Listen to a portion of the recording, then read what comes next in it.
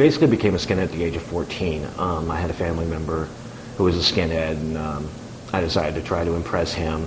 I was already a chronic runaway at that point. I lived on the streets quite a bit, so it was. It almost seemed like a natural evolution for me.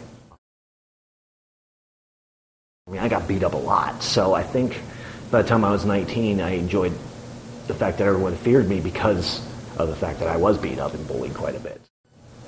I didn't hate anybody. I hated myself. So I just kind of projected it outward.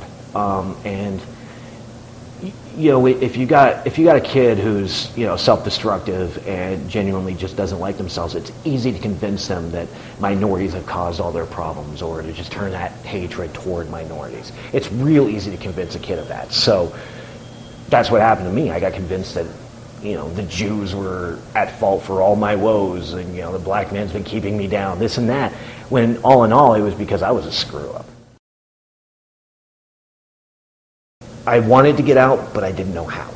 I didn't know. I didn't think there was a way out besides prison or death. I thought those were the only two out programs. And it's been absolute hell. Uh, when it, when we first when I first got out, immediately we started getting death threats. People calling up three o'clock in the morning. Um, and this went on for a couple years straight. I mean, just constant harassment and death threats for like two years straight. Uh, we were living on red alert.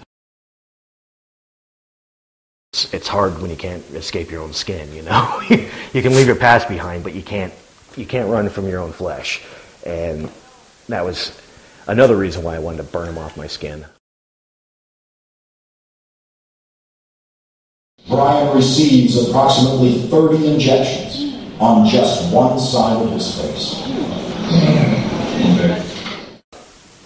The pain was horrendous, but know. It was easy. It was fairly easy for me to endure. Um, I just, just kept. I always told myself it was a penance. I deserved it because I've caused a lot of people a lot of pain. I've been an I've been a head for a lot of years, and so it was it was easy to just tell myself that this is my penance. I have to go through this. Can I change my past? No. Um, the only thing I can try to do now is make amends. That's all I can do now.